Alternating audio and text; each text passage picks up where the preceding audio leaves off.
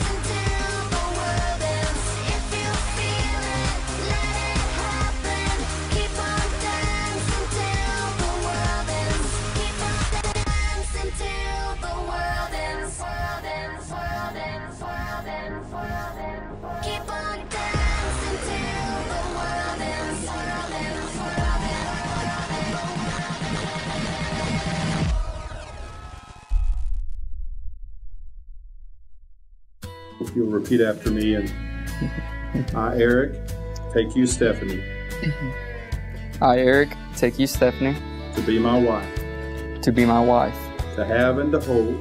To have and to hold. From this day forward, from this day forward, for better, for worse, for better, for worse, for richer or poor, for richer or poor, in sickness and in health, in sickness and in health, to love and to cherish, to love to and to cherish, and to cherish until death do us part. until death do us part. According to God's holy ordinance, According to God's holy ordinance, to you to you I pledge my love. I pledge my love. I pronounce that they are husband and wife in the name of our Lord and Savior, Jesus Christ. You may kiss your bride. Oh.